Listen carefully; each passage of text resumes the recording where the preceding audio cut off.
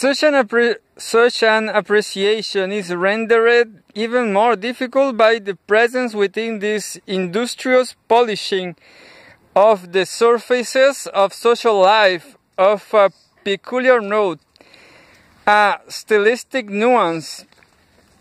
We will not, I think, expect to, to be there.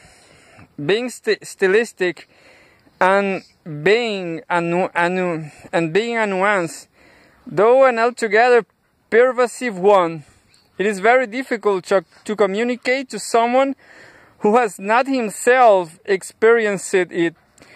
Playful theatra- thea- theatrically, thea- theatrically, theat- theat- theatric- theatrically, perhaps hits near its if it is understood that the playfulness is not is not like lighter lighthearted lighter lighthearted but almost grave and the and the thea, thea, thea, theatric, theatrically not spontaneous but almost forced. Balinese social relations are at once a solemn game and a studied drama. This is not clearly seen. This is not clearly seen in the ritual and what is the same thing, artistic life, much of which it is, if in fact, but a portrait of and a mold for and a mold for their social life.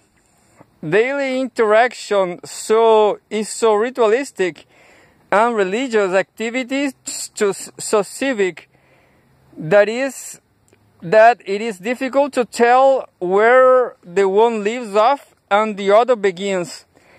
And both are but expression of what is justly justly Bali's most famous cultural attribute her artistic genius the elaborate temple peasants the grandiloquent operas, equilibris, equili, equilibristic ballets, and stilted shadow plays, the cir- cir- circuitous speech, unapologetic gestures, all these are of a piece.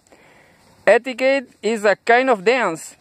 Dance is a kind of ritual, and worship a form of etiquette art, religion, and politics all all exalt the outward, the contrived, the contrived, the well-wrought appearance of things. They celebrate the forms, and it is the tireless manipulation of these forms that they call playing that gives to Balinese life its, its settled haze of ceremony. The mannered cast of Balinese interpersonal relations, the fusion of rite, craft, and courtesy, thus leads, leads into a recognition of the most funda fundamental and most distinctive quality of their particular brand of social sociality. Its radical aestheticism, social acts, all social acts are first and foremost designed for to please, to please the gods, to please the audience, to please the other, to please the self, but to please as beauty pleases but to please as beauty pleases, not as virtue please virtue pleases. Like temple offerings or gamelan concerts, acts of courtesy are works of art, and as such they demonstrate and, and are meant to demonstrate not re- rectitude or what we will call rectitude, but sensibility. Now, from all this, the daily life is markedly ceremonious. That this ceremoniousness takes the form of an earnest, even sedulous kind of playing with public forms. That religion, art, and etiquette are them but differently directed manifestation of an overall cultural fascination with the worked up semblance of things, and that morality here is a consequently aesthetic at base. It is possible to attain a more exact understanding of two of the most marked and most remarked features of the active tone of Balinese life, the importance of the emotion of what has been wrongly called shame in, in, in interpersonal relations and the failure of collective activity, religious, art, artistic, political, economic, to build toward the definable consummations, what has been acutely, acutely called its absence of climax. One of these one of these themes, the first, leads directly back toward conceptions of personhood. The other, no less directly toward conceptions of time, so securing the vertices of our metaphorical triangle connecting the Balinese behavioral style with the ideational environment in which it moves. The concept of shame, together with it, its moral and emotional cousin guilt, has been much discussed in the literature. Entire, entire cultures sometimes being designated as shame cultures because of the presumed prominence in the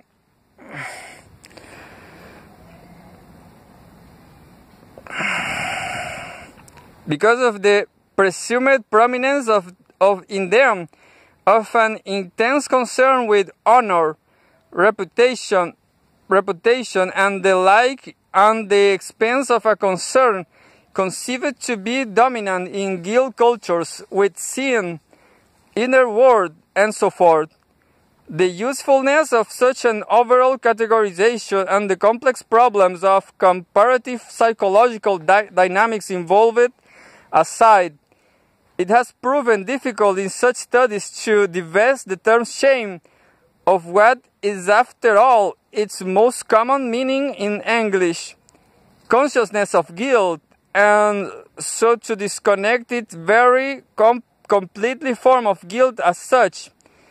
The fact or feeling of having done something reprehensible, usually the, the contrast has been turned up turned upon the fact that shame tends to be applied, although actually far from exclusively to, situation in, to situations in which wrong, wrongdoing is publicly exposed and guilt, though equally far from exclusively to situations in which it is not. Shame is the feeling of disgrace and humiliation which follows upon a transgression found out.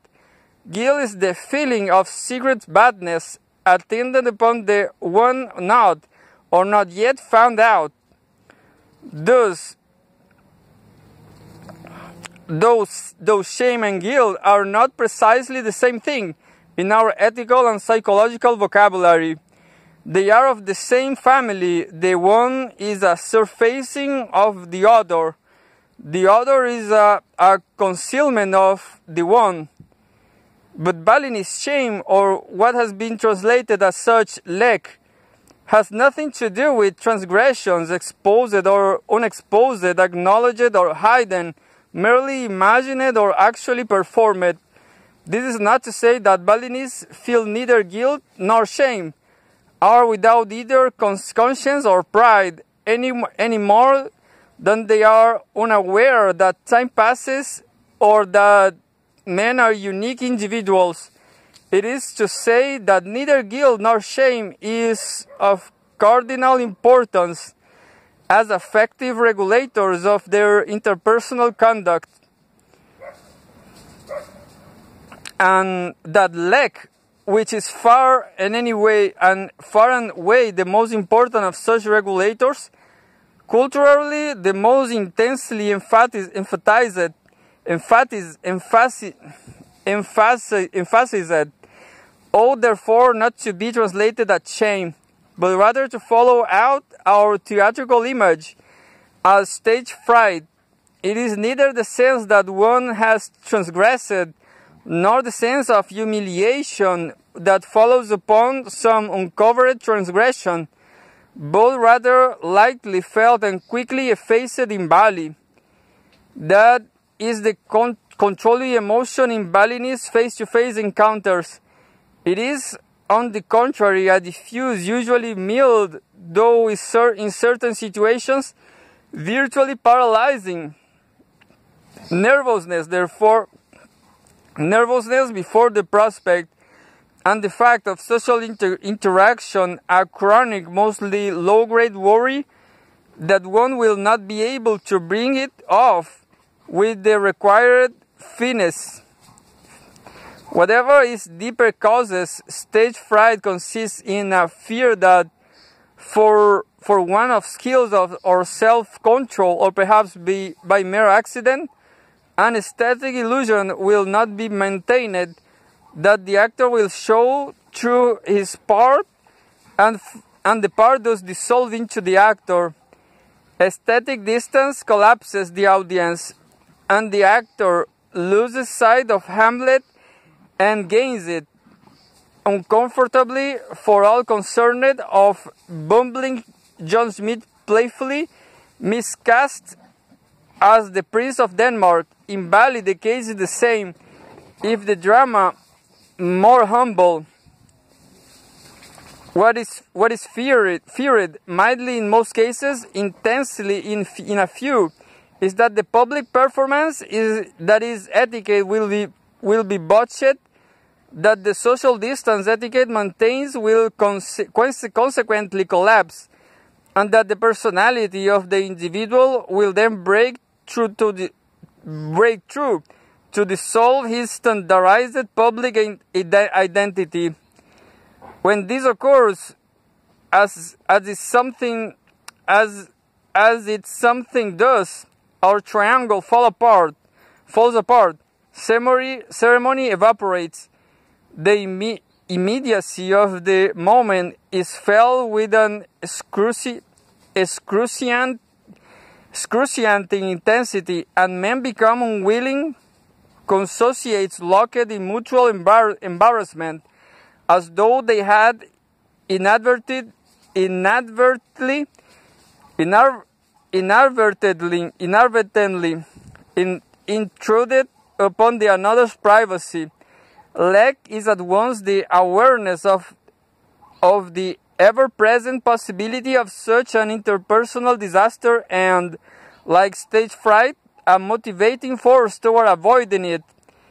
It is the fear of faux pas, rendered only that much more probable, probab, probable by an elaborated politesse that keep social intercourse on its deliberately narrowed rails. It is lek, more than anything else, that protects Balinese concepts of personhood from the individualizing force of face to face encounters. Absence of climax, the order the other outstanding quality of Balinese social behavior is so peculiarly distinctive and so distinct, distinctively, distinctively odd that only extended descriptions of concrete events could properly evoke it.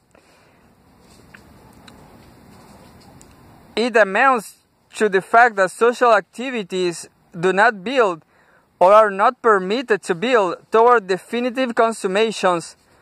Quarrels appear and disappear. On occasion they even perish, but they hardly ever come to a head. Issues are not sharpened for decision. They are blunted and softened in the hope that the mere evolution of circumstances will resolve them on better yet, that they will simply evaporate. Daily life consists of self-contained monadic encounters in which something something either happens or does not. An intention is realized or it is not, a task accomplished or not. When the thing doesn't happen, the intention is frustrated the task unaccomplished, the effort may be made again from the beginning at some other time, or it may simply be abandoned. Artistic performance start, go on, oft, often not often for very extended periods, when one does not attend continually but drift away and back, shatters for a while, sleeps for a while, watches rapt for a while, and stop. They are as uns, un, uncentered as a parade, as directionless as a pigeon, as a pageant. Ritual often seems, as in the temple celebrations, to consist largely of getting ready and cleaning up. The heart of the ceremony, the obse- to the gods, come down onto their altars, is deliberately muted to the point where it is something seem it something seems almost an afterthought, a glancing, hesitant confrontation to a, of an anonymous person brought physically very close and kept socially very distant.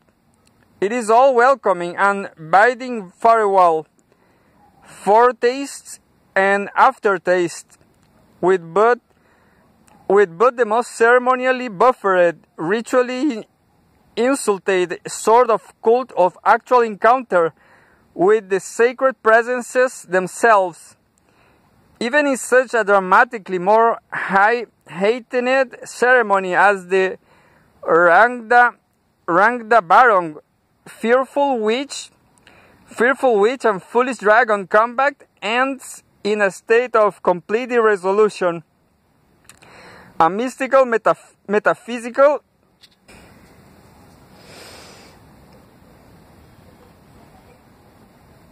Fearful witch and foolish dragon combats end in a state of complete irresolution, a mystical, metaphysical, and moral standoff, he leaving everything precisely as it was. And the observer, or anyway the foreign observer, with the feeling that something decisive was on the verge of happening, but never quite did. In short, events happen like happen like holidays. They appear, vanish, and re reappear, each discrete sufficient into, unto itself, a particular manifestation of the fixed order of things. Social activities are, are separate performances. They do not march towards some destination, gather towards some de- denouement, as time is punctual, so life is. Not orderless, but qualitatively ordered, like the days themselves, into a limited number of established kinds. Balinese social life lacks, lacks climax because it takes place in a motionless present, a vectorless now. Or equally true, Balinese times, time lacks motion because Balinese social life uh, lacks climax. The two imply in, imply one another, and both together imply and are implied by the Balinese contempora- contemporization of person, the perception of fellow men, the experience of history, and the temper of collective life. What has something, what has sometimes been called ethos, are looked together by a definable logic, but the logic is not syllogistic, it, it is social.